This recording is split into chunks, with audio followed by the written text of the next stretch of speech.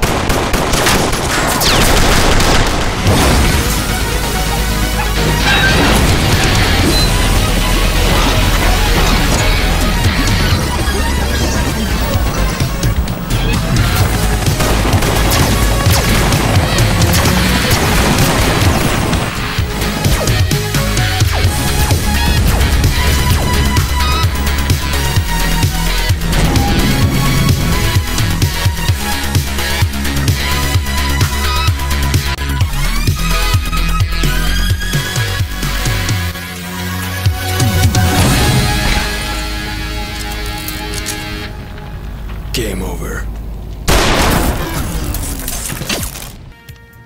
Looks like it's gonna be a hell of a lot of paperwork.